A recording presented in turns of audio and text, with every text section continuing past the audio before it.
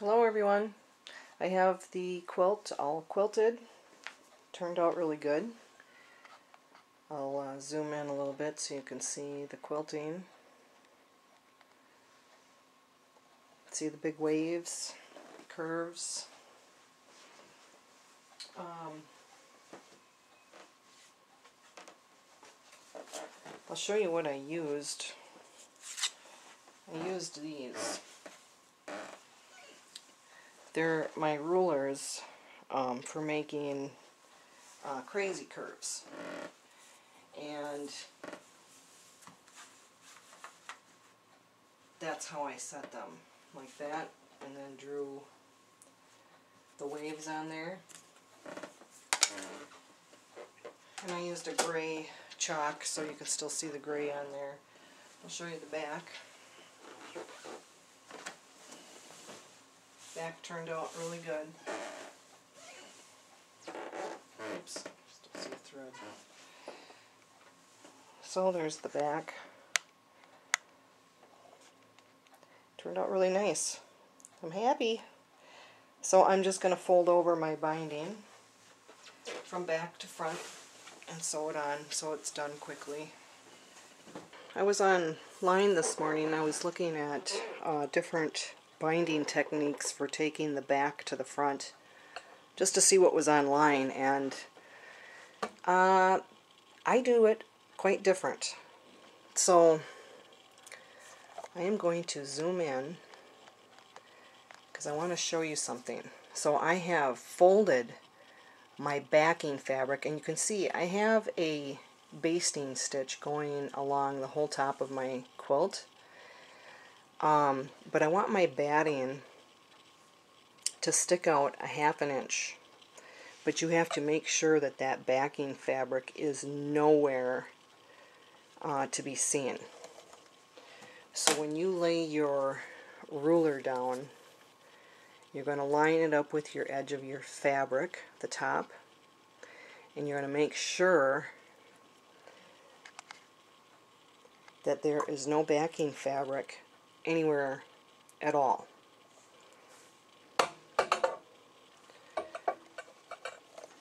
Okay, let's scooch down a little bit here. So I've got the half inch right at the very edge of my quilt top.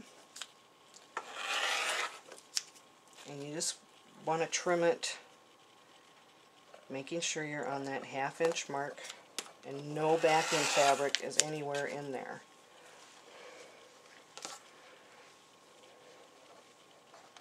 Jingles is playing with the tripod a little bit left here.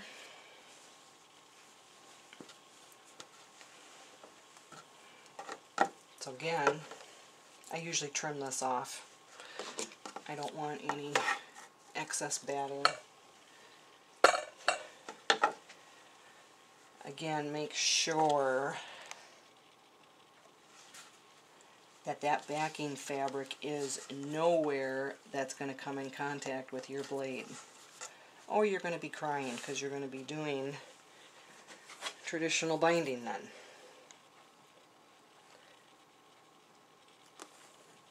Get my half inch there. That's the last strip. So now, I'm going to start with my shortest edge here and I want to take a measurement because you got to get all of your backing fabric um, to the same width. And as you can see, um, maybe you can't, I'll zoom in a little bit here. Let me move my camera. Let me zoom in just a little bit.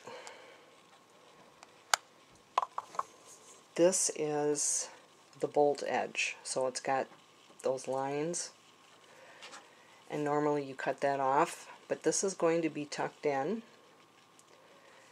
um, to the binding. It's going to be tucked in just a little bit and then it's going to be flipped over um, just like that. Can you see that? So the binding, I'm sorry, the batting is filling up that little bit of a gap. See that little bit of a gap right there? So I'm almost bringing that up, just a, not quite, to the binding. You can see there's probably maybe a quarter of an inch because I need that to fold it over. And then I'm going to top stitch this. I'm going to be mitering my corners first. Um, but this is the shortest edge. So all I have to do is take a measurement from the, I'm going to do from the outside of the quilt again to the outside edge of the Minky or cuddle, whatever you want to call it. So that's the first thing I have to do is make sure I've got the same measurement going all the way around.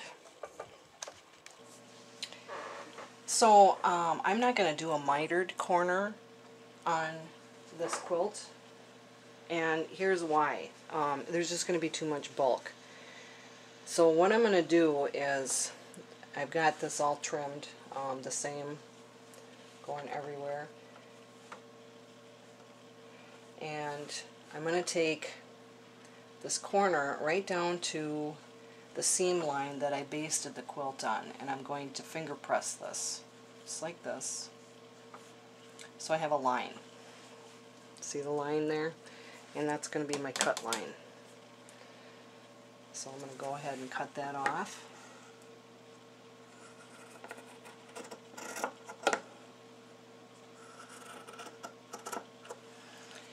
Okay. So now I want to show you, so remember we're going to fold this in so we're about a quarter of an inch away from the batting here. Okay, and then it's going to come up over. Like that. And then I'm going to sew that down right on this very edge here.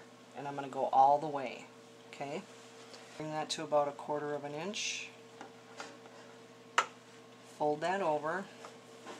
This batting is filling up that and you'll pin this and then sew all the way off the edge. Okay, come down, fold this up and then this will fold all the way over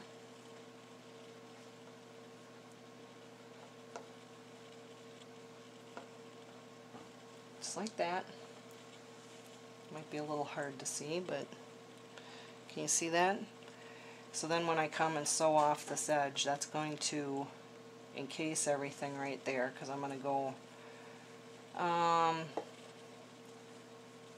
maybe about a quarter of an inch. It doesn't matter. The back is the back. But see, there's no bulk. That corner lays nice and flat. So I'm going to do that to each of the corners and then I'm going to start sewing. Okay, here is the finished corner of the quilt. This is the Sweet Pea quilt. You can see that. Here's the back. The quilt's been washed. I did have a little bit of a problem getting the gray chalk marks out. Not sure if you can see that. I don't know. I've never had that happen. Um, I did wash it with something else. You can kind of see the line right there. The gray line, I think.